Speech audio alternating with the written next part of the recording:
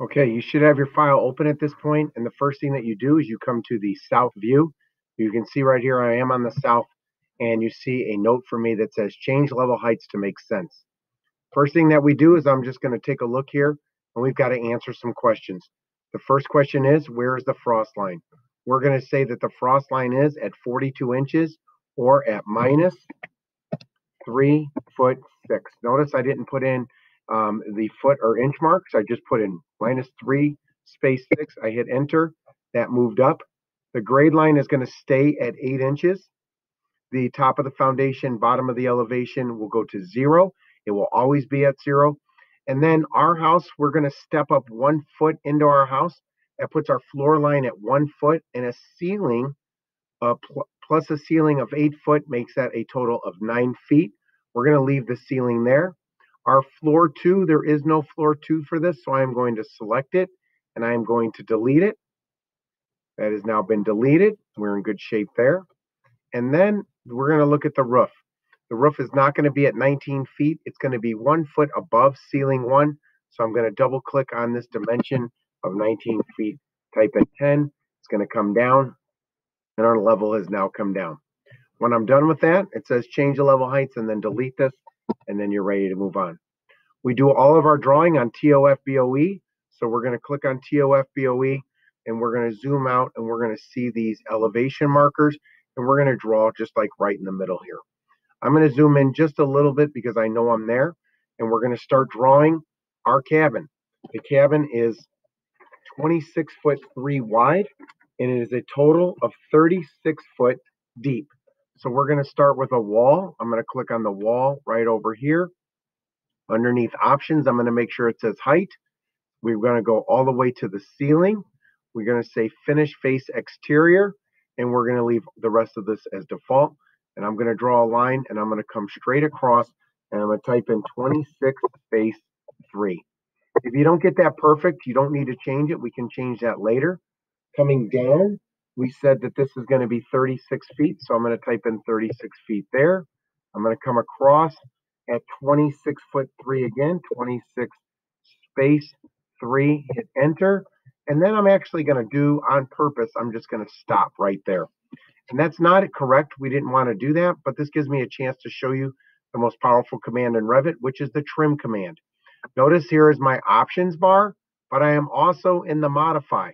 This is the trim command, and the trim says, hey, what do you want to keep? I want to keep this wall and this wall, and it automatically puts it together. So we'll use the trim command quite a bit. All right, notice that when we did this, when we clicked on these walls, these were the basic siding six and a half inch walls. I'm going to click on a 3D view right here and just take a quick peek and see that my siding is correct on the outside. I drew it going in a clockwise direction and I'm ready to go back and start laying out the walls on the inside. So I'm going to click on TOF BOE once again, right there, and I'm ready to draw walls again, but this time we're going to do interior walls. So I'm going to click on the properties bar and change it to interior D South. All right, all of the bedrooms are 10 by 10. So we're just going to draw some blocks on the inside and we're going to learn how to, I'm actually going to just kind of randomly place these in here because I know that it look it looks something like that. So I draw two walls. I'm going to right click on this or go back to wall and do it again. And we're going to draw some more interior walls. There's the four and a half inch roughly in this area. We're going to go up and I'm going to do it wrong on purpose. And then we've got one more bedroom. I hit the escape key and we've got one more bedroom that is down here.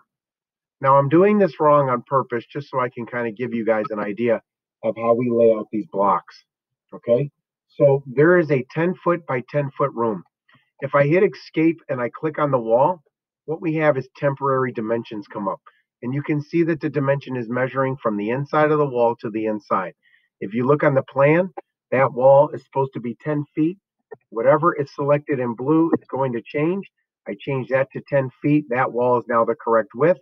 I want this wall to move. It's at 12 feet. I need this to be at 10 feet. Your dimensions may be different, but at the end of the day, I want this wall to be 10 foot from here, and I want this wall to be 10 foot from here. This is an extreme situation. It's not even close, but I want to move this wall. It is also 10 foot.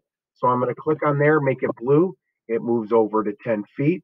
I'm going to click on here, move that up, change that to 10 feet, and we're going to have a little bit of space in between. That's fine. We're going to put a closet in there later.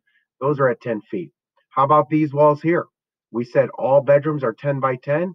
This says it's a little bit bigger. Yours may be a different dimension. I'm going to type in 10 feet there. It moves it up. And I'm going to click right over here in this wall. We want this wall to move. Having trouble getting the dimension that I'm looking for. Now it says it's at five foot.